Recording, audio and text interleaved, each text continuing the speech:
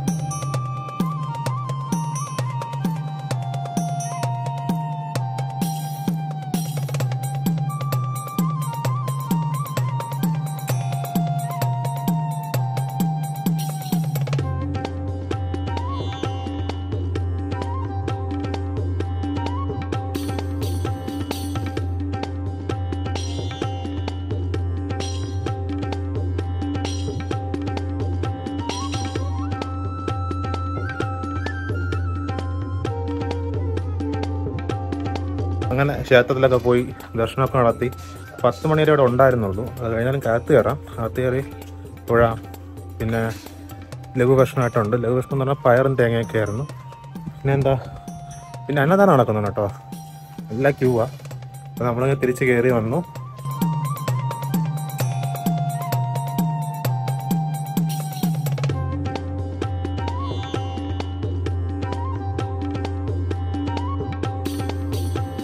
അങ്ങനെ പനച്ചിനിക്കടവ് മുത്തപ്പന്റെ ക്ഷേത്രമൊക്കെ കണ്ട നമ്മൾ അവിടെ നേരെ ഇറങ്ങി നേരെ വന്നത് സ്നാക്ക് പാർക്കിലേക്കാണ്. അപ്പോൾ ഹരീഷും അവന്റെ വൈഫും അവിടെ ഇറങ്ങി നിൽപ്പുണ്ട് നമ്മൾ വണ്ടി ഒതുക്കാൻ വേണ്ടി ഇങ്ങോട്ട് വന്നിട്ട് നേരെ സ്നാക്ക് പാർക്കിലോട്ട് പോയിക്കൊണ്ടിരിക്കാം